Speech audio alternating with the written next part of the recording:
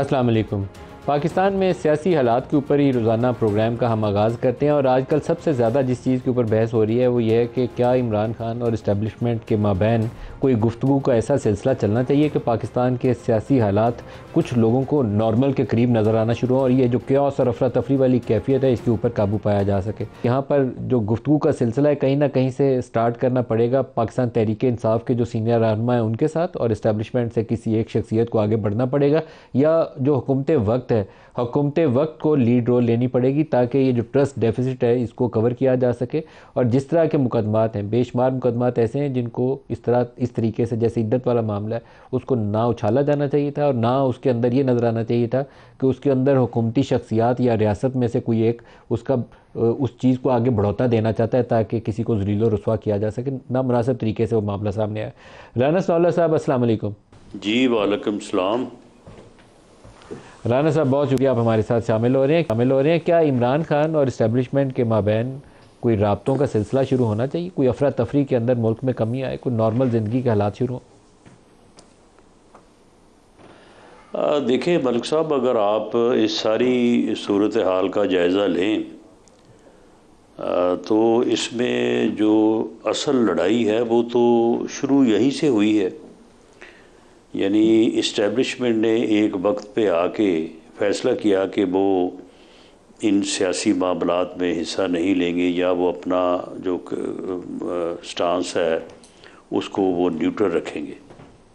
और इस बारे में जब इस्टेब्लिशमेंट ने फ़ैसला किया तो उसके बाद उन्होंने इस बात को वाजे कर दिया कि हम न्यूट्रल जो है वो रोल अदा करेंगे।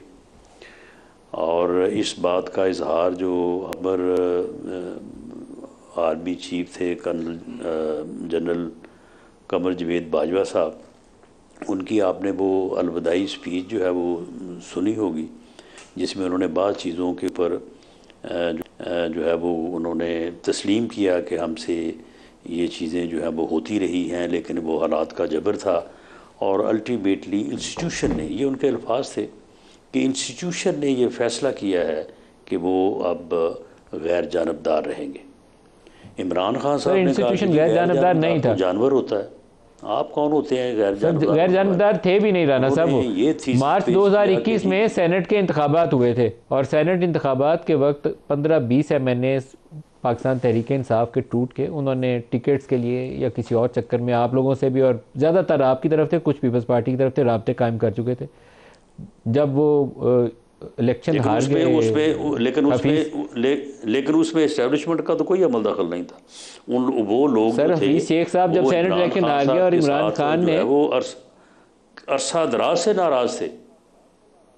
सर ये नाराज़गी उनकी मौजूद थी लेकिन अगले ही रोज जब इमरान खान ने वोट ऑफ़ कॉन्फिडेंस लेने का ऐलान किया तो उन्हीं पंद्रह बीस एम एन को चिड़ियाघर लाहौर से कॉल कौन कर रहा था सर?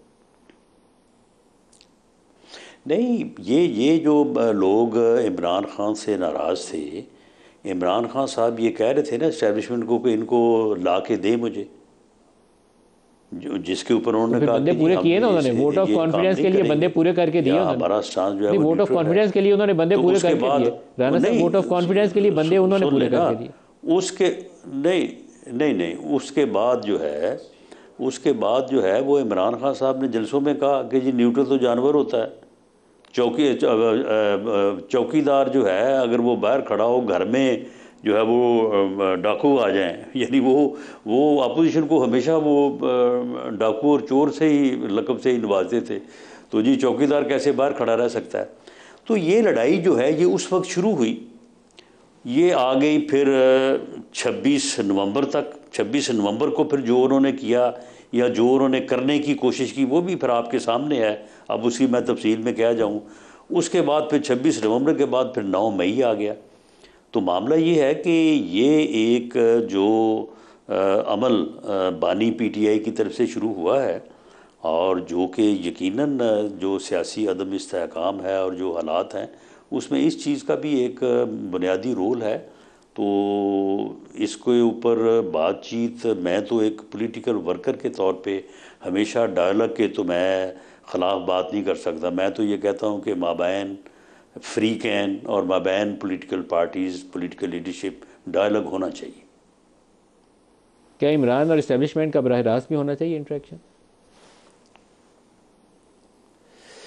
नहीं देखें अब जब डायलॉग होना है तो वो बरह रास्त होना है या बिलवास्ता होना है ये तो खैर फिर करने वाले जो है वो डिसाइड करेंगे।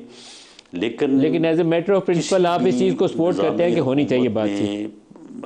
अमंग फ्री कैन अमंग पोलिटिकल पार्टीज़ डायलॉग जो है रबता जो है आप देखें जब वोट ऑफ़ नो कॉन्फिडेंस हो रहा था उस वक्त सूरत हाल ये थी इतना यानी आपस में जो है वो एक समझ लें कि अदम रबता था कि जब अदम अतमाद कामयाब होने को आया तो उसके बाद वज़ी अजम साहब ने आर्मी चीफ़ को और डीजीआई को, इन्होंने वज़ी अजम हाउस बुलाया और बुला के इन्होंने कहा कि जी आप अपोजिशन से बात करें। यानी उस वक्त हमारे साथ जो अपोजिशन का इतिहाद था उसके साथ बात करें और मैं इलेक्शन असम्बलियाँ डिज़ोल्व करके इलेक्शन करवाने को तैयार हूँ तो वो वोट ऑफ़ नो कॉन्फिडेंस जो है वापस ले लें। आर्मी चीफ ने, जनरल बाजवा साहब ने जो है वो बुलवाया तमाम जो क़्यादत है, उस वक्त जो पीडीएम की जमातें थी तो उनके कायदीन को बुलवाया और वो उनसे कहा कि जी आप अदम अतमाद की जो तहरीक है उसको वापस ले लें। तो हुकूमत जो है वो इलेक्शन की तरफ़ चले जाती है, असम्बली को डिज़ोल्व करके। लेकिन इस बात पे इतफ़ाक़ ना हो सका। इस बात पे जो पीडीएम की क़्यादत थी या कायदीन थे, उनमें से मौलाना फजलरहमान साहब का मैंने स्टांस सुना था। उन्होंने कहा कि जी नहीं, अब हम इसको वापस नहीं लेंगे। तो उस वक्त जो है वो फिर इस्टेबलिशमेंट से बात हो सकती थी। यानी अपोजिशन का और हुकूमत का तो आपस में बात इनको करनी चाहिए ना। लेकिन उस वक्त फिर वाया इस्टेब्लिशमेंट बात हो रही थी। तो इसलिए मैं नहीं समझता कि इसमें कोई हर्ज है कि अगर जो भी रेलिवेंट फ्रीक बनते हैं, उनकी अगर आपस में बात होती है तो ये कोई ऐसी बात नहीं है कि जिसके ऊपर ये कहा जाए कि ये दुरुस्त नहीं है। सही है। फैसल वाडा साहब आप बताइए आपको तो एक तो सेनेटर बने हैं ग्रीन टाई भी आज आपने पहनी आपको मुबारक। बहुत शुक्रिया जी। तो मैं तो ग्रीन टाई आपकी से इंस्पायर हूँ आप डिफरेंट ग्रीन पहनते हैं तो मैंने आपको लास्ट टाइम कहा था मुझे बड़ी पसंद है। आपने दी नहीं आपने कहा था मैं आपको दूँगा। आज प्रोग्राम का अख्ताम आपको टाई देने पर ही होगा। अच्छा वेरी काइंड ऑन एयर जो कमिटमेंट है वो निभाई जाएगी आपसे। आप ये बताएँ कि इमरान खान से इस्टेब्लिशमेंट के रबते होने चाहिए नहीं? देखिए नदीम मलिक साहब सबसे पहले तो मेरी मेरे लिए सबसे इम्पोर्टेंट ये कि यहाँ इस नैश तक कोई भी पॉलिटिकल पार्टी समेत तहरीक इंसाफ के इमरान खान साहब के नून लीग के पीपल्स पार्टी के इसको पहुँचाता कौन है? कौन ये मुल्क मुल्क कहाँ से कहाँ हम ले गए और क्यों ले गए? इसको लाने वाले कौन है? पहले उस आज मैंने असेंबली में भी कहा कि आप जब तक इस मसले को एड्रेस मुल्क नहीं ठीक होगा। इमरान खान को इस हाल में किसने पहुँचाया? जुडिशरी जुडिशरी आपका जुडिशल निज़ाम पाकिस्तान का। इमरान नवाज़ शरीफ को इसने किया। ब्लैक लॉ डिक्शनरी थे। जदाई साहब को चौदह साल जेल किसी की। लेकिन सिर्फ़ जुडिशरी थी। अच्छा सर चले। क्या एस्टेब्लिशमेंट और जुडिशरी का गठजोड़ नहीं सर सर मेरी बहुत अच्छा सवाल है। आप बड़ी डायरेक्ट बात करें तो मुझे भी पसंद है आपकी डायरेक्ट बात करना। देखिए सर हम कहते हैं भुट्टो साहब को स्टैब्लिशमेंट ने मरवा दिया। तो भाई जिसने साइन किया था उसको तो पकड़ो ना। उसको लाओ उसको वो खड़ा गया था पेन तोड़ देता बताता छियालीस साल बाद बता रहे हैं आप। छियालीस साल के बाद मेरे पैदा होने से पहले मुझे पता था। इमरान खान का डी चौक का धरना किसने करवाया था? उसको रुकवा के गारंटी देने वाला आज भी जज मौजूद है। मुझे आप अगर चीफ जस्टिस साहब बुलाएँगे शवायद ढूंढना उनका काम मैं नाम ले दूँगा जाकर। बहुत मुश्किल हो जाएगी। का क्या रोल था? धरने कराने में स्टैब्लिशमेंट में जो नंबर टू में खास था वो अपनी इससे अचीव बनने के लिए सब कुछ करवा रहा था गाइड करवा रहा था। इसमें दो राय क्यों है सर इसमें दो राय नहीं है ना? सर इसमें आज का मौजूदा जज भी है सुप्रीम कोर्ट के। मैं तो क्लियर आज के जज भी हैं। ठीक है आज जो गैलरी के चारों तरफ़ खेल रहे हैं ठीक है? नून से भी खेलते हैं पीटीआई से भी खेलते हैं और अगर मुझे चीफ जस्टिस साहब लाएँगे कि वो चीफ जस्टिस साहब चीफ जस्टिस साहब ईमानदार आदमी है बलोच आदमी है और बलोच आदमी के लिए कहा गया कि उसको रिस्पेक्ट करें। तो बलोच आदमी है तो उनके पास जाके मुझसे पूछेंगे एज अ पाकिस्तानी। और वो पाकिस्तानी जिसने अपने सिटीजनशिप के साथ साथ मेरे पूरे ख़ानदान में भी किसी की नहीं है। ना मेरे पास रेजिडेंसी है ना मेरे पास वीज़ा है ना मेरे पास सिटीजनशिप रही है। ना मेरी फैमिली के पास है ना मेरी बहन के पास है। तो सुने सुने सुने सुने मुझे थोड़ा सा टाइम दे दीजिएगा। अब ना मेरे बीवी बच्चे एनजीओ चला रहे हैं ना ही मुझ पर कोई ब्लेम है ठीक है? पगड़ियाँ उछलेंगी तो फुटबॉल बनेगा पगड़ियों का तो बड़ी क्लैरिटी उनकी नंबर वन नंबर टू ये कि अगर इल्ज़ाम आज लग रहे हैं आ, मुझे नहीं पता सच्चे इल्ज़ाम हैं झूठे इल्ज़ाम हैं। उनकी सदाकत कितनी है बाबर सत्तार साहब के ऊपर जज साहब के ऊपर। मुझे उनके बारे में इतना पता है कि जब वो अपॉइंट हो रहे थे तो मेरी काबीना में मैं मिनिस्टर था फेडरल जब उनके ऊपर बहुत नेगेटिविटी चारों तरफ़ से आ रही थी। नॉट इमरान खान साहब बट बाकी वेरी ऑनरेबल जज मैं मैं नहीं मैं नहीं जानता मैं क्या उनकी ज़ात पर कोई बात करना चाहता हूँ। लेकिन आज उनके ऊपर कोई इल्ज़ाम लग गए जज की सबसे पहली चीज़ है उसकी रेपुटेशन कि अगर वो मेरा मुखालिफ भी है लेकिन मैं केस लेके जाऊँ तो वो मुखालफत अपनी साइड पर कर दें जजमेंट करे अपनी जजमेंट के बेसिस के ऊपर शवायद के ऊपर। तो अगर उन पर इल्ज़ाम बाबर सत्तार साहब का लगे हैं उनकी रेपुटेशन ऑनरेबल भी हैं और उनके ऊपर सवालिया निशान बन रहा है इल्ज़ाम नेशनैलिटी वाला है ना जिसकी वो वजाहत खुद से करनी है उन्होंने नहीं करनी चाहिए और क्या और क्या इल्ज़ाम और तो करनी चाहिए। नहीं उसके अलावा है स्कूल चेंज की बातें हो रही है। बहुत सोशल मीडिया पर देखिए ना सर क्या क्या बातें हो रही हैं। अगर वो हैं अगर वो इल्ज़ाम है उसको क्लैरिफाई करें। अगर वो इल्ज़ाम में सदाकत एक भी परसेंट है तो फिर जुडिशल सुप्रीम जुडिशल काउंसिल को एक्शन लेना चाहिए। नहीं मेरे ख्याल में ये बिला वजह के इल्ज़ाम है। स्कूल अगर उसका भाई चलाता है तो उसका इल्ज़ाम सर मेरी बात सुने ना नदीम साहब ये तो मैं और आप जज करने वाले नहीं है ना दोबारा क्लैरिफाई करना चाहिए। दोबारा एस्टेब्लिशमेंट और जुडिशरी का गठ जोड़ ये था पिछले दस सालों में क्या अब भी मौजूद है देखिए मेरी बात नवाज़ शरीफ की नाहली की आपने मिसाल दी आज सैरन में भी बोले अभी भी आप बोले वो दोनों के गठ जोड़ से हुई थी किसी एक से नहीं थी हुई। आपने इमरान खान को निकाला इकतदार पहले दिलाया फिर निकाला ये भी गठजोड़ से हुई थी वैसे नहीं थी हुई। आज क्या वो मौजूद है या नहीं? नेक्सिस मौजूद है या नहीं? देखिए नदीब बरक साहब बड़ी क्लैरिटी होनी चाहिए। देखिए नदीब बरक सबसे पहले तो आप अगर कह रहे आप जैसा सीजड इबाद और एगर एक्सपीरियंस ये बात कर रहे हैं तो मेरी तो फिर आपके आगे कोई राय नहीं बनती आज है? मैं आपसे बड़ी क्लैरिटी से बात कर रहा हूँ। अगर आज चीज़ें हो रही होती आज क्या है? आज निज़ाम में तब्दीली क्या हुई है? जिन्होंने मुझे मैं आपको दो मिनट लूँगा मुझे वो दे दीजिए प्लीज़ आ जाए एक सेकंड के लिए। भुट्टो साहब को फांसी दी? किसने दी? किसके कहने पे दी? तो खड़े हो जाते चालीस साल बाद ना बताएँ हमें। हमारी पैदाइश से पहले का किस्सा हमें पता है। ज़ाहिर साहब को चौदह साल जेल दी, आज तक तो कुछ शवायद दिया है फिर क्लियर हो गए वो। फिर आपने नवाज़ शरीफ साहब को ब्लैक डॉग डिक्शनरी के तहत आपने याद कर ली, कौन है भाई आप? फिर आपने इमरान खान की चलती हुकूमत हमारा काम था। हम रखते, दौड़ चोड़ करते, लेटते, पैसे देते, खिलाते, पिलाते, वादे करते, झूठ बोलते, सच बोलते। आपने पाबंद कर दिया संडे के दिन हाईकोर्ट खुल गई। हाईकोर्ट खुल गई, पाबंद किया गया। क्या आप अभी दो बड़ा कॉन्फिडेंस ले? गिरा दी। गिराने के बाद पॉपुलैरिटी ग्राफ आसमान पे है। ओह बल्ले बल्ले हो गई। खान साहब की बल्ले बल्ले हो गई। जब बल्ले बल्ले हुई तो निज़ाम ने ट्विस्ट किया इंसाफ के निज़ाम ने। जहाँ बे जहाँ जजा देनी चाहिए वहाँ सजा दे दी जहाँ सजा देनी चाहिए वहाँ जजा दे रहे लेट्स नॉट प्ले गेम्स को फॉर्म 45 और 47 का रौला किसने किया? सर आठ फरवरी को फॉर्म फोर्टी फाइव और दो हज़ार अठारह? आठ फरवरी दो हज़ार अठारह को भी चौबीस। टू फॉर्म फोर्टी सेवन था। दो हज़ार तेरह में to forty seven forty seven दो हज़ार ट्वेंटी फोर में भी चौबीस में भी फॉर्म फोर्टी सेवन है और आगे अगर किसने किया? आठ फरवरी तो दो हज़ार चौबीस को किसने किया? जिन्होंने बेल दी। जजों ने किया। फॉर्म फोर्टी सेवन मेरी बात सुने ना। अगर आप बेल ना देते तो क्या मैं उनको छुड़ा के लाता? राना सनाउल्ला साहब, एक सवाल आपसे चाहूँगा जानना और आई होप कि आप इसका बर रास्त जवाब देंगे। खबर ये चली थी, कुछ लोगों को ऑफ़र किया गया था आठ फरवरी की रात को। कि आप इलेक्शन हारे में आपको जितवाने के लिए कुछ किया जा सकता है? उसमें तीन चार आपकी जमात के सीधा सीधा लोगों के नाम मौजूद हैं। कहा जाता है कि राना सनाउल्ला को भी ऑफ़र हुई थी। क्या ये बात सही है, आपको ऑफ़र हुई थी? बहरहाल इस इस बारे में जो है वो ना तो मैंने कोई पहले बात की है और ना ही इसके ऊपर मैं कोई बात जो है वो करनी चाहता हूँ क्योंकि ये मेरी ज़ात से मुतलक बात है। लेकिन अगर कुछ लोगों को इस किस्म की जो लोग इल्ज़ाम लगा रहे हैं तो अगर उनके पास कोई सबूत मौजूद हैं कि किसी को हारने के बाद जितवाया गया है तो वो जाए ना इलेक्शन ट्रिब्यूनल में। वो जाएँ अदालतों में।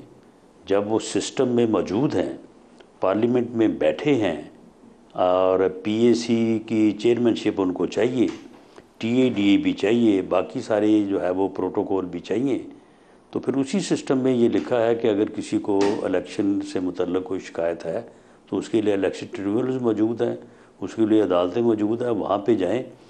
अगर अदालत मुझे भी वहाँ पे बुला लेगी या किसी और एलिमेंट बंदे को बुला लेगी तो जो हकायक हैं वहाँ सामने रख दिए जाएँगे ताकि उनके ऊपर एक राना साहब आपकी जमात से मैं एक से ज़ायद लोगों से ख़ुद ये सवाल कर चुका हूँ और मैं आपको उन जो बड़े वॉनरेबल लोग हैं इज़्ज़त वाले लोग हैं उनसे जो तस्दीक करने के बाद मैं आपको बता रहा हूँ कि आपकी जमात से कम अज़ कम एक से ज़ायद ऐसे लोग हैं जिनसे मैंने क्रॉस चेक किया और उन्होंने कन्फर्म किया कि हाँ आठ की रात को ये फॉर्म 47 वाली कहानी के ऑफ़र उनके लिए मौजूद थी। और मेरा ख्याल है आपके लिए भी मौजूद थी। आप ऑन एयर इसको बता रहे हैं या नहीं बता रहे? जावेद लतीफ़ साहब तो पब्लिकली बहुत कुछ कहते हैं।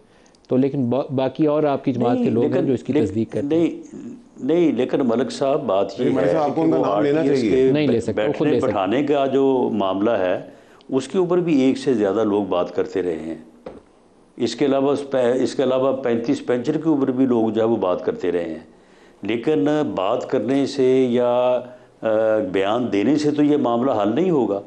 ये मामला जो है, ये हल तो तब होगा, या कोई किसी फोरम पे जाके हल हो, या फिर ये है कि अगर इस सिस्टम में कोई ख़राबी है, जो कि है, कोई ये तो नहीं है कि ये कोई पहला इलेक्शन है, जिसके बाद ये बयानिया सामने आया है। अठारह के इलेक्शन के बाद भी यही था, तेरह के इलेक्शन के बाद भी यही था, पीछे चले जाएँ, यही होता रहा है। सेवेंटी सेवन बल्कि इवन जो इलेक्शन फातिमा जना और अयूब खान के दरमियान हुआ था उन्नीस में। उसका किस्सा देख लें, वो वहाँ पर भी। यानी पाकिस्तान में सिस्टम में ये जो ख़राबी है, इसको किसने दूर करना है? पार्लियामेंट ने दूर करना है या किसी और ने दूर करना है? इसके ऊपर पॉलिटिशियंस ने बैठ के किसी नतीजे पे पहुँचना है या किसी और ने पहुँचना है? तो जिन लोगों ने बैठ के इस कजिए को हल करना है, वो बैठने को तैयार नहीं है। वो एक दूसरे को देखने को तैयार नहीं है, वो वो कहते हैं कि मैं इसको नहीं छोड़ूँगा, वो कहता है मैं उसको नहीं छोड़ूँगा। तो फिर ये इसी तरह से चलेगा ना फिर। हम्म। जब आपको वाडा साहब ये नहीं लगता कि ये जो सोच थी पहले कि हम नया पाकिस्तान बनाना है थ्रू इमरान खान तो इन सारों को चोर डाकू डिक्लेयर कर दें। अब वो रिग्रेट करने गलत तजर्बा कर लिया। तो इन तजर्बा से अगर वैसे ही गुरेज कर लिया जाए, किया ही ना जाए तो ज़्यादा बेहतर हल नहीं है। सिस्टम इवॉल्व होगा उसमें कुछ लोग हार जाएँगे कुछ जीत जाएँगे। देखिए पाँच साल दस साल बीस साल लगेंगे ना। देखिए नदीम साहब ये ना जो जिनकी डेमोक्रेसी जिन मुल्कों का मुल्कों को आज़ाद हुए सौ से ऊपर साल हो जाते हैं ना तो आप थर्ड वर्ल्ड कंट्रीज़ में फिर इवॉल्व और इवॉल्व होना शुरू होता है सिस्टम लेकिन यहाँ प्रॉब्लम ये है कि चॉइसेस हमारे पास बहुत लिमिटेड है। हमें डेमोक्रेसी भी रखनी है ठीक है? उस डेमोक्रेसी के अंदर प्रॉब्लम्स भी रखनी है उनको फेस भी करना है और इकोनॉमिकल मेल्टाउन के तहत आपका प्रॉब्लम ये है कि हम शाये वे करते हैं चीज़ों को बोलने में। हम जाके पैर पड़ जाते हैं कमरों के अंदर, बाहर निकल के हम डेमोक्रेट्स बन जाते हैं। आपको जब पैसा चाहिए होता है बैरून मुल्क, आप कहते हैं फ़ौज को पैसा ला दो। जब आपको शहादतें देनी होती है तो आप कहते हैं बॉर्डर पे आप खड़े हो जाओ। सियाचट में जंग लड़नी होती है, आप कहते हैं आप खड़े हो जाओ। जब दुनिया के ममालिक में फ़ॉरन मिनिस्ट्री के जो काम हैं, वो जब अनरेस्ट पे आप पॉलिटिशन अपनी हमाकत से, ज़बान से, पुट्ठे सीधे ले आते हैं तो आप कहते हैं फ़ौज को जाके बात करो डी आई को भेजो। ये आज से नहीं सदियों से चलता आ रहा है। जब आप सारे अपने मल और उनका क्या काम है कि वो कर्टन के पीछे रह के क्रेडिट भी नहीं लेते और करके भी देते और फिर वो गालियाँ भी खाएँ बातें भी सुने इल्ज़ाम भी लें शादतें वोट दें। आपके ख्याल में जो खराबी है वो है ही पॉलिटिशियन है। नहीं नहीं नहीं जुडिशल सिस्टम अब मैं इस नतीजे पहुँचा कि पहले जुडिशल सिस्टम ठीक करें फिर पॉलिटिशियन को ठीक करें। देखिए 96 97 परसेंट पे ये हमारा इदारा चल रहा है। इसमें पिछले अदवार के लोगों ने इसमें पाँच परसेंट, चार परसेंट का डेंट डाला। नाइन्टी नाइन्टी वन परसेंट पर आज भी है। देखिए, आज इंस्पिरेशन हमारे लिए कोई पोलिटिकल आदमी नहीं है, ना कोई पोलिटिकल पार्टी है। ये सब अनरेस्ट है, जो आरिफ हबीब साहब ने दी है बयान। बहुत ज़बरदस्त बयान, बहुत अच्छा बिज़नेस मैन है अच्छा इंसान है। बड़ी कदर करता हूँ उनकी। उन्होंने हमेशा अच्छे एडवाइस सभी को दिए सारी पोलिटिकल पार्टीज़ को। उनका कहने का मकसद घुमा के शब्द अपने मतलब का ले लिया नहीं, उन्होंने कहा कि जो अनरेस्ट है, ये मार धाड़ गालम गलोज, मौला जट। देखिए, आज सेनेट के अंदर इजलास हुआ। तहमुल से उनकी बात भी सुनेगी इनकी बात भी सुनेगी हमारी बात भी सुनेगी। This is the way forward हम लॉ बनाने वाले हैं हम कानून बनाएँगे हम इम्प्लीमेंट करेंगे समराइज भी हम करेंगे डिफाइन भी हम करेंगे। तो बाहर बैठ के हमारे बताए हुए कानून के अंदर कानून के अंदर ब्लैक लॉ डिक्शनरी संडे के दिन खोल के ज़्यादा गुस्सा कर रहे नहीं मैं नहीं कर रहा सर मेरे लिए जज सर मैं आपको आपको ये बड़ी क्लियर करने की ज़रूरत है। जज क्या होता है, सर? उसके पास कलम की ताकत और उसका इम्पैक्ट ये हो कि इंसान बदल जाए। मैं आपको अपना एक्सपीरियंस बताता मैं आता, मैं बंदियाल साहब के सामने पेश हुआ। जस्टिस मंसूरी शाह साहब के सामने पेश हुआ और जस्टिस आयशा मलिक साहिबा के आगे पेश हुआ। उनका कॉन्डक्ट क्या था? वो हम्बल थे, उनके उनके कलम में ताकत इतनी थी कि वो मुझे फांसी पर चढ़ा देते उन्होंने मुझे इमोशनली चार्ज किया कि मैं मॉरली मेरी बाइंडिंग हो गई कि मैं कहूँ, सर जो आपने कहा वो तो अपनी जगह के ऊपर है, लेकिन मैं मॉरली अपनी इस सेनेट की कुर्सी से इस्तीफा भी देता हूँ, ये पीटीआई बनती है। मैं आई वॉज़ नॉट प्रिपेयर्ड जब मैं कोर्ट के अंदर आ रहा था ये बात करने। मैं नहीं, मैं कहीं से नहीं तैयार था। मैं तो अगर मेरे हक में फैसला होगा तो मेरा किसी का बाप भी मुझसे कुर्सी नहीं ले सकता। कानूनी तौर पर कोई नहीं ले सकता था। लेकिन मैं मॉरली उन जजेस की डिसीज़न मेकिंग फेयरनेस और हम्बलनेस फलता हुआ दरख्त था ना, झुका हुआ था। उससे मैं आगे बढ़ा। तो आपकी मॉरली इमोशनली आपको चार्ज कर दिया। मुझे तो अब डर लगता है। अगर मैं जा रहा हूँ किसी जज के पास और जज के साथ मेरे खानदानी दुश्मनी, एक मिसाल है, मेरे वालिद की दुश्मनी हो, और मेरा केस लग जाए तो मैं तो मर जाऊँगा कभी नहीं जाऊँगा उसके आगे। हालाँकि होना चाहिए कि मैं जब जज के आगे जा रहा हूँ, मुझे फ़िक्र हो, मेरे केस पे मेरिट में फैसला होगा। अब आप चीफ जस्टिस साहब मुझे आज बुला लें। मैं हर बार कहता हूँ, पिछले वाले ने भी नहीं बुलाया, ये भी नहीं बुलाया। मेरा काम इन्वेस्टिगेशन करने का नहीं है। मेरा काम है सच बताने का। मैं खान साहब के करीब था। दो जजेस थे, जिन्होंने खान साहब को कंटेनर में फ़ोन किया, उनमें से एक जज आज भी मौजूद है। दो जज थे ये जरा खबर चलाइए। ठीक है सर। दो जज थे जिन्होंने इमरान खान को आप कह रहे हैं कंटेनर में फ़ोन किया। देखो सर वो कौन कौन से जज थे? नहीं सर मैं तो जब चीफ जस्टिस साहब बुलाएँगे तो बोलूँगा एक जज अभी भी मौजूद है ये खबर बड़ी करके चलाइए। दूसरी चीज़ ये दो जज आप कह रहे हैं जिन्होंने इमरान खान को कंटेनर में दो हज़ार चौदह में। अगस्त दो हज़ार चौदह में। 2014 में नहीं सर अभी वाले धरने की बात कर अभी वाले में? जी सर अभी वाले धरने में फ़ोन किया। अभी वाले में? अभी वाले में, ये पच्चीस मई वाले अभी वाले में सर इससे पहले जब पहला पच्चीस मई वाले, जब पेशावर से आ रहे थे। नहीं जब ब्रेक हमने नहीं जब हम इस्लामाबाद में पहले चढ़ाई करने गए ठीक है सर? जब हम पहले पहला धरने का पहला फ़ेज़ जो था जब वो रिवर्स हुआ जब आप सबने कहा ये छोड़ के चले गए इस्लामाबाद से वो वाले वो वाले धरने की बात कर रहा हूँ। ये second last second last to exact ठीक है सर? सेकंड लास्ट धरने जब पेशावर से खटक नहीं सर यहाँ जब हम आए ना यहाँ से जब हम यहाँ से लॉकडाउन इस्लामाबाद जब आपने कहा था तब हम यहाँ से जब वापस गए हैं ना जब वो बच्चे जो गरीब हमारे केपीके से आए थे नंगे पैर भूखे हाल बाथरूम खाने के बगैर जिनको हम छोड़ छाड़ के चले गए थे दो जजों ने अंदर फ़ोन किया उन्होंने कहा था आप रिवर्स हो जाए आपके हिसाब से चीज़ें कर ली जाएगी. दो ये मुझे ये मुझे इस तरह पता है कि चार आदमी है जिनको खान साहब ने बात बताई और हमें वेरीफाई वो चार कौन-कौन ठीक है? वो तो चार सर मैं तो नहीं बोलूँगा ना जब चीफ जस्टिस साहब बुलाएँगे तो लेकिन एक जज आप कहते हैं अभी भी हैं। बिल्कुल है। और उन जज की खासियत भी क्या है? वो चार उन्होंने नवाज़ शरीफ साहब के लिए केस किए फैसले दिए। जब उनकी बल्ले बल्ले हो रही थी फिर इमरान खान के लिए वो चेंज हो गए। और ये तो जो- खबर- बड़ी खबर चलाई है जी, games है ना गेम्स है गेम्स है पर्सनल इसमें आपको आप सर इंटरफेयर करना इसकी पहले वजाहत ले लूँ राना सनाला साहब क्योंकि इनकी जमात उस वक्त हुकूमत में थी। राना साहब ये कह रहे हैं दो जजों ने कॉल किया एक जज अभी सुप्रीम कोर्ट में है इमरान खान को जब वो धरना कर रहे थे। क्या आपके नॉलेज में ऐसी चीज़ें हैं? नहीं हमारे नॉलेज में तो ये चीज़ नहीं है लेकिन वाडा साहब की बात को डाउट करने का भी मेरे पास कोई जो है वो ज़रिया नहीं है। अगर वो ये कह रहे हैं तो दुरुस्त हो सकता है। इससे पहले भी आपके इलम में होगा कि इमरान खान साहब ने भी एक मरतबा बात की थी। एक जज साहब का नाम लेके उन्होंने तो कहा था कि उनका मुझे फ़ोन आया कि आप ये क्यों इधर बाहर फिर रहे हैं सड़कों पे? आप इधर हमारे पास आएँ। तो उसके बाद फिर हमने पटिशन आके दायर की।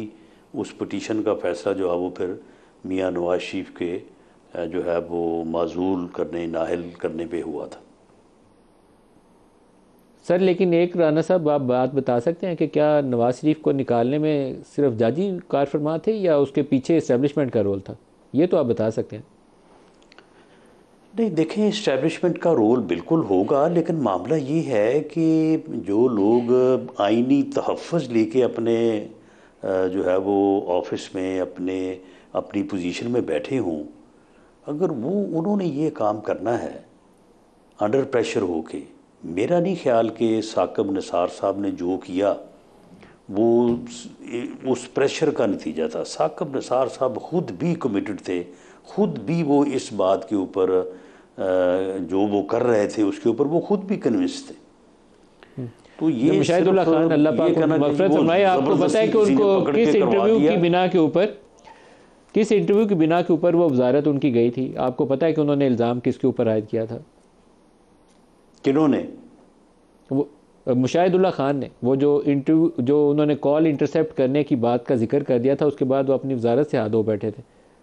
धरने के अरेंज करने के लिए उन्होंने उस वक्त के जो बाद में शुजा नवाज़ साहब ने भी अपनी किताब के अंदर भी ज़िक्र किया। और उसके बाद मुशाहिदुल्लाह खान की वजारत गई। तो ये खुला आपकी हुकूमत की तरफ़ से इशारा था कि कॉल्स इंटरसेप्ट हो गई जनरल राहील को बुलाया गया था नवाज़ शरीफ ने उनको आगाह किया उसके बाद मुशाहिदुल्लाह की छुट्टी हो गई। बहरहाल मैं उस वाक़े की जो है वो तफसील से आगाह नहीं हूँ लेकिन मामला ये है कि ये कह देना ब्रेक करीब आ गया जी ब्रेक ले लें ब्रेक से वापसी पे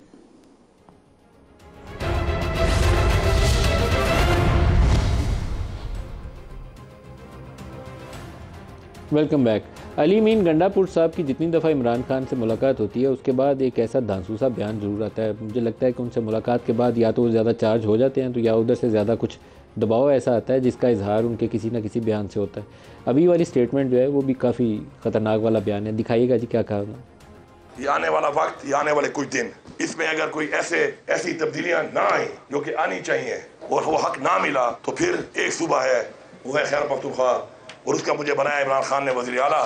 तो मैं आपको यकीन दिला रहा हूँ कि फिर वो सुबह जब निकलेगा तो वो सुबह फिर जब वापस जाएगा तो इमरान खान को भी लेके जाएगा इन चोरों की हुकूमत भी गिरा के जाएगा। और एक दफ़ा पहले मुझे सजा दी आप लोगों ने कि मैंने एक ट्वीट की थी कि हम इस्लामाबाद पे कब्जा कर लेंगे। अब मैं कह रहा हूँ हक ना मिला तो हम इस्लामाबाद में, इस हुकूमत से इस्लामाबाद में कब्जा करेंगे। बताइए जनाब, बड़ा सख्त किस्म का नहीं नहीं, सर, ये तो सबसे ज़्यादा आज की हिस्ट्री में अगर किस, कभी गंडापुर ने बयान दिया है तो सबसे मजाकिया, और इसकी बात मेरा तो कुलीग रह चुका मेरा दोस्त भी है। ये सिर्फ़ उसने उसने मैसेज किया है कि खान साहब को जाकर बता दें कि उसने बोला इसमें तो जान ही नहीं इस बात के अंदर। आज तो बिल्कुल ही दिल से नहीं है। दिमाग से भी नहीं है। बस खाना पूरी कर रहा है। जैसे आप मुझे बुला के बोले कि जापनीज रेस्टोरेंट के अंदर सूशी खाने बुलाए और मुझे उसमें कढ़ाई रख दे तो मैं किस मुँह से खाऊँगा। ये आप उनको मज़ाक करें लेकिन बड़ा सख्त पे नहीं सर नहीं है ना सर नहीं है सर नहीं नहीं। गंडापुर बड़ा स्मार्ट प्ले कर रहा है सर। गंडापुर गवर्नमेंट के साथ बड़ा प्यार प्यार से बातें कर रहा है सर। तो ये वाला पैगाम असेंबली में कहा है कोई नहीं सर ये, ये तो सिर्फ़ इमरान के लिए इमरान खान साहब के लिए कोई अच्छा इमरान खान साहब को भी कोई बताए पहुंचाएगा नहीं ये बात। उन सबको भी पता पहुँचाने वालों को कि ये उसने जैपनीज रेस्टोरेंट के इनवाइट पे आया और कढ़ाई उसको दे दी है। उसका मूड ही खराब ना उसका दिल है ना दिमाग है ना बॉडी लैंग्वेज साथ है।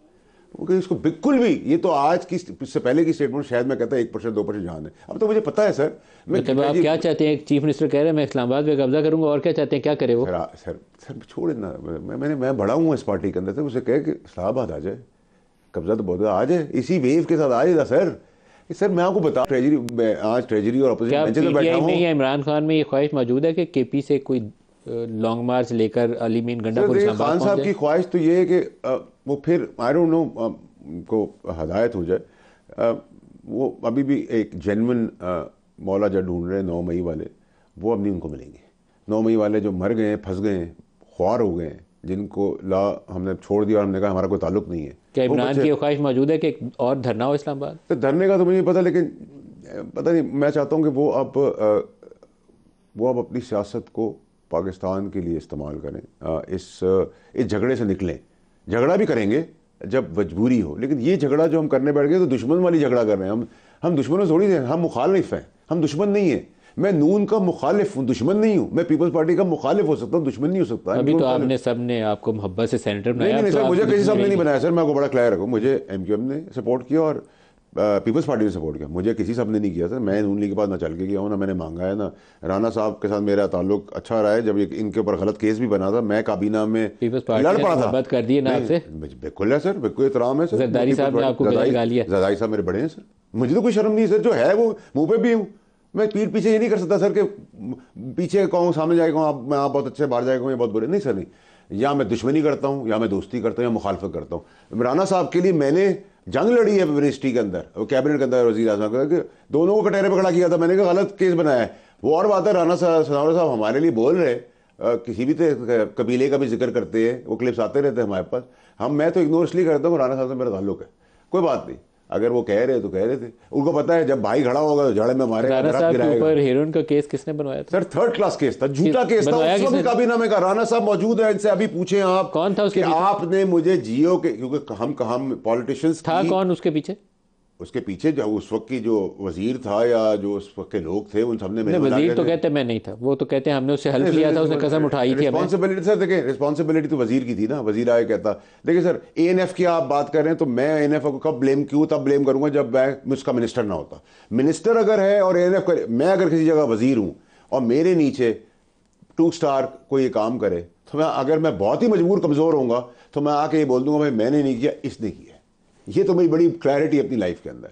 लेकिन मैं राना साहब से आप अभी पूछें राना साहब मौजूद है कि राना साहब हम पॉलिटिशियंस की वो बड़ी तेज़ होती है हमें इन हमें पता चल जाता है किसने क्या बात की मेरे लिए। राना साहब मुझे जियो के प्रोग्राम के अंदर मिले नीचे उन्होंने मुझे कहा मैं नहीं एक्सपेक्ट करता था कि तुम कैबिनेट में खड़े हो जाओगे मेरे लिए क्योंकि तुम मेरे मुखालिफ हो। मैं सर मैं पार्टी का मुखालिफ हूँ। ये नाजायज़ आपके साथ हो रहा है इसलिए मैंने इमरान खान साहब को कन्विंस किया कि ये एक झूठा और थर्ड क्लास और घटिया केस बनाने की कोशिश की है। इमरान को पता था? नहीं इमरान खान साहब को पता नहीं था। इमरान खान साहब ने यकीन किया दूसरी दफ़ा लेकिन थर्ड टाइम और फ़र्स्ट जब डीजीएनएफ को बुलाया गया तो उसने इमरान के सामने कहा था। उन्होंने क्लियर किया था मैंने उसके बाद वीडियो दिखाए। क्या बोला था डीजीएनएफ ने? उन्होंने कहा था कि उन्होंने मिनिस्टर की बात को इंडोर्स किया था कि वो डी जी एन एफ़ भी बड़ा क्लेवर आदमी होता है। जब वो ऐसी सिचुएशन में आता है प्रेजेंटेशन देने तो हर चीज़ मिनिस्टर की अप्रूवल से मिनिस्टर के इशारे से चलता है और मिनिस्टर को मुखातिब कर रहा था। लेकिन जब मैंने उनसे सवाल ये किया ए एन एफ़ के साहब से कि आप मुझे वो वीडियो दिखा दें। तो मुझे मिनिस्टर ने जवाब ये दिया कि उस राना सलाम साहब का गनमैन थे। तो मैंने कहा अच्छा तो गनमैन इतने प्राइवेट मेरे पास भी बहुत अल्लाह की मेहरबानी से। लेकिन क्या मैं स्टेट के ऊपर तान सकता हूँ? तो मेरा बाबी नहीं तान सकता। ना दुनिया में कोई तान सकता ब्रेक ले लें ब्रेक से वापसी पे राना साहब से बात करते हैं। ब्रेक ले लें।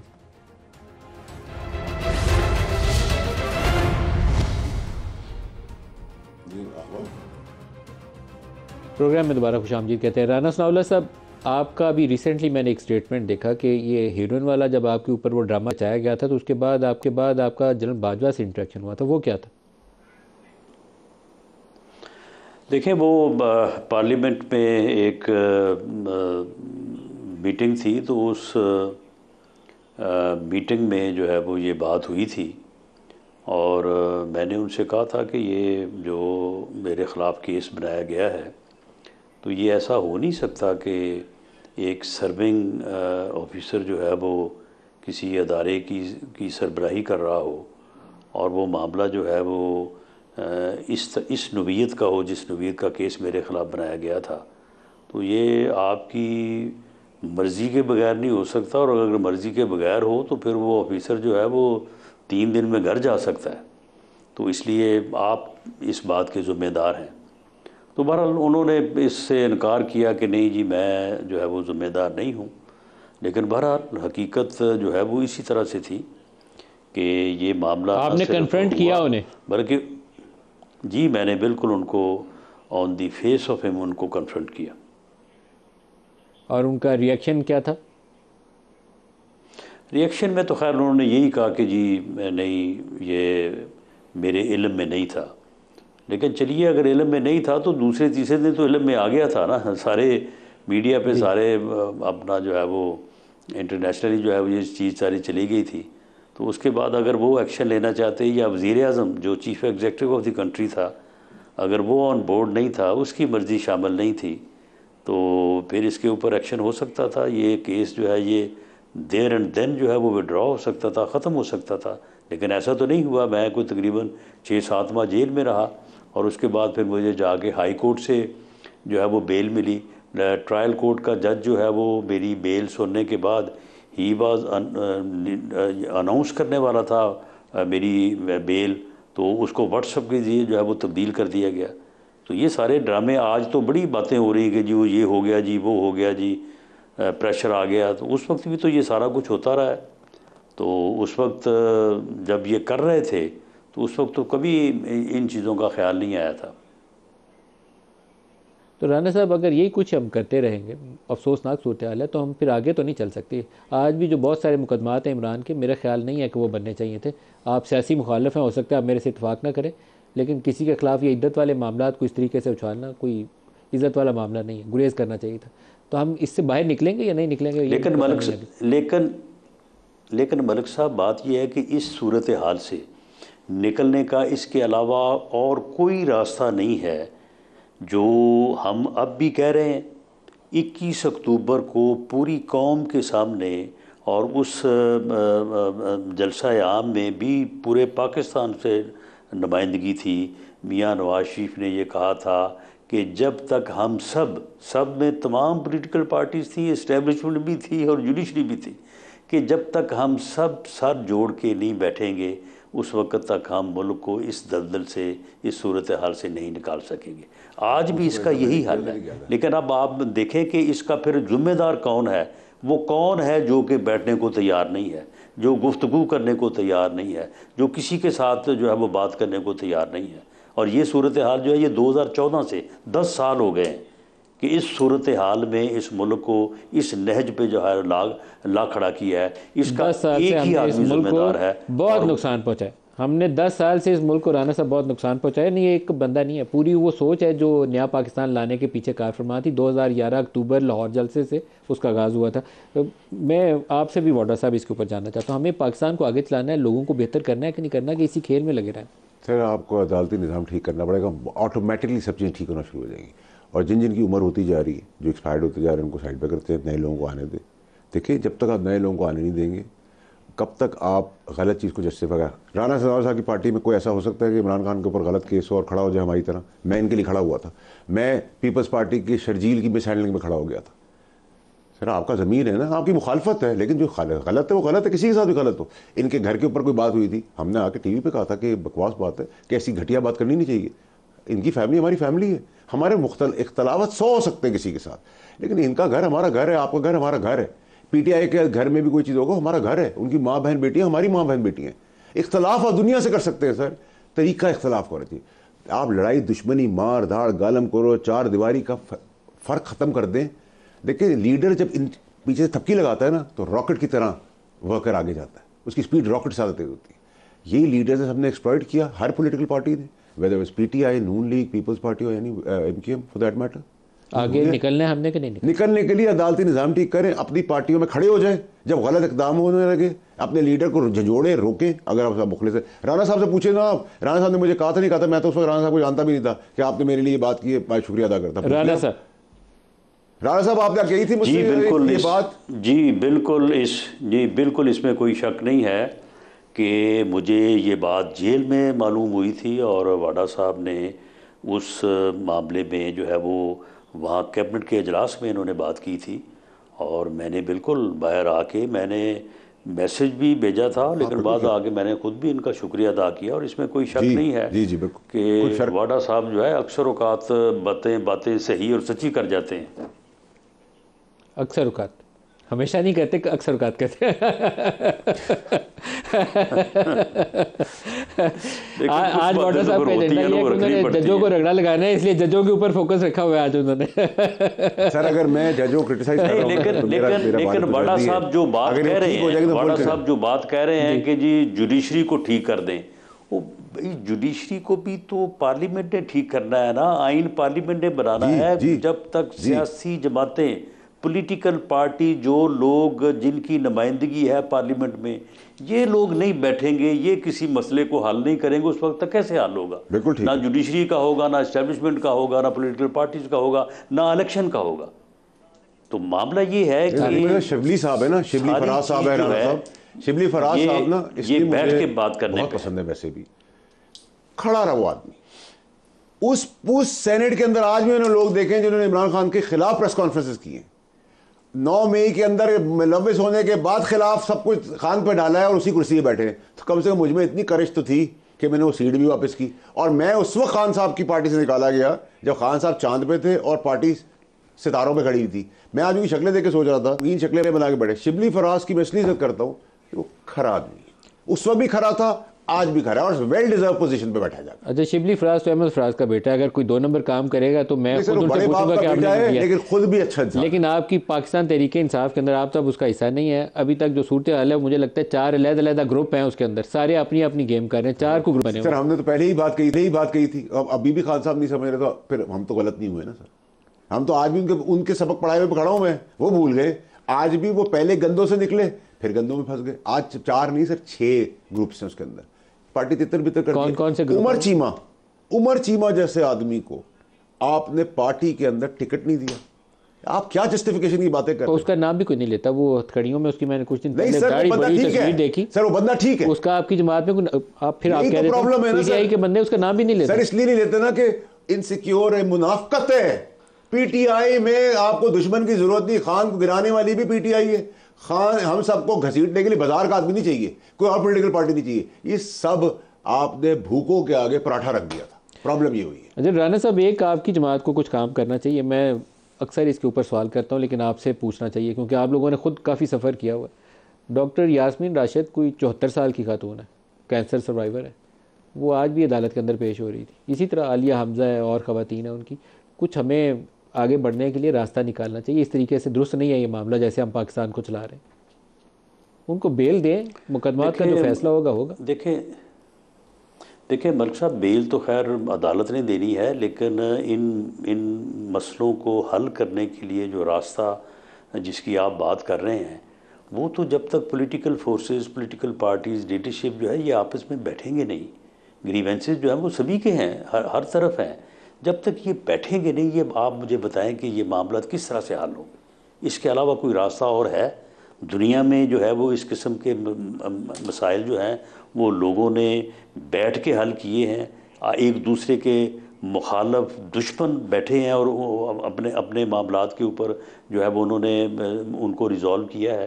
तो इसके बगैर आप मुझे बताएँ कि ये हाउ इट इज़ पॉसिबल क्या इसी इलेक्शन के बाद डायलॉग होना चाहिए इसके ऊपर बड़ा डायलॉग जिसमें नवाज़ शरीफ हो चीफ जस्टिस बैठे हों आर्मी चीफ हो आप अपोजिशन से इसको इमरान खान को साथ बिठाएँ आप जरदारी साहब को साथ बिठाएँ पाँच छह बंदे सिर्फ़ बैठे हो हमारे कैमरों से दूर लेकिन वहाँ बैठ के आप पाकिस्तान के ये ये ये ये पाँच छः में से जिन ये पाँच छः में से मेरा ख्याल है चार या पाँच बैठने को तैयार हो जाएँगे। एक दस साल से तैयार नहीं है और उसके होने का भी कोई इम्कान जो है वो नज़र नहीं आ रहा। और यही जो है वो इस वक्त हमारे सिस्टम की मुल्क की बदकिस्मती है। बॉर्डर साहब अभी भी ऐसा कोई डायलॉग नहीं होगा? सर देखें पीटीआई के मेजॉरिटी मुखलिस ही नहीं है चेयरमैन के साथ। वो चाहते हैं अंदर रहे इसकी पॉपुलैरिटी के हम फल तोड़ के मज़े करते हैं। ये ये बदनसीबी है इस पार्टी की। पाकिस्तान आगे कैसे चलेगा? सर पाकिस्तान से भी एक ही तरीके से आगे बढ़ सकता है। हमारा अदल का निज़ाम ठीक हो जाए, सब ऑटोमेटिकली अपने अपने स्पॉट्स पे चले जाएँगे बॉक्स में जाएँगे। और ये बात सही राना साहब कह रहे हैं। मैंने आज सेनेट में कहा है, हम सेनेट के पेटी बस भाई बनेंगे, मैं बनाऊँगा इनको। अगर पीटीआई के ऊपर कुछ होगा तो सारे सेनेटर खड़े होंगे। नून पे होगा, तब भी खड़े होंगे। ये हमारी कमज़ोरी है कि हमारी पगड़ियाँ उछाली गई। हमारी यह पगड़ी उछालेंगे तो हम पगड़ियों का फुटबॉल बना देंगे। सर आप जो मर्ज़ी फुटबॉल बनाएँ लेकिन जुडिशरी खिलाफ में ठीक नहीं होती। आप मदन साहब आप, आप अगर इस बात पे आप थोड़ी थोड़ी तवज्जो दें वाडा साहब इसको अपनी मर्ज़ी से जिस तरह से मर्ज़ी इस, इसको जो है वो एक्सप्लेन करें या तस्लीम करें या ना करें इनकी पीटीआई में लड़ाई या जो वहाँ से इनको धक्का लगा उसकी बुनियादी वजह क्या थी? बुनियादी वजह यही थी कि जो काम बानी पीटीआई 26 नवंबर को इंसानों का समुंदर ला के रावलपिंडी में करना चाहते थे। इन्होंने यही कहा था ना कि ये ना करें। ये इसके बड़े बुरे नतज जो है वो निकलेंगे। तो उन्होंने वो किया भी और इनको भी जो है वो धक्का दे के साइड पे कर दिया। तो मामला ये है कि नहीं किया राना साहब। आप पोलाइट बात कर रहे हैं राना साहब। बिल्कुल ऐसा ही हुआ जैसा आपने कहा। मुझे धक्का दे के निकाला गया। साइड पे नहीं किया। आपका शुक्रिया कि आप पोलाइट वर्ड मेरे लिए यूज़ करें लेकिन मुझे निकाला गया। और मैंने ये भी कहा था और ये भी कहा था आप गोलियाँ चलेंगी। जी तो अब ये है कि फिर वो 26 नवंबर को वो नहीं हो सका उसके बाद फिर 9 मई आ गया। 9 मई के बाद अब उसके कंसिक्वेंसेज जो आपने यासमी राशिद की बात की है कोई भी इस बात के ऊपर खुश नहीं है कोई भी इस सूरत हाल के ऊपर खुश नहीं है लेकिन इस सूरत हाल को विड्रॉ करने के लिए अगर जब तक आप बैठेंगे नहीं बात नहीं करेंगे आप। तो हाउ इट इज़ पॉसिबल कि ये एक साइड जो कहे कि जी ठीक है जी हम विड्रॉ करते हैं तो अब हर हर चीज़ जो है वो दूसरी तरफ़ देते हैं। ऐसे कभी नहीं होगा।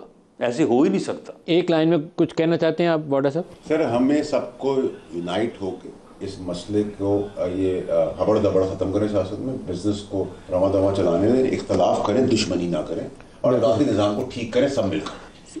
फैसल वाडा साहब दोनों का बहुत शुक्रिया। आज के लिए इतना इजाज़त दीजिए। अल्लाह हाफ़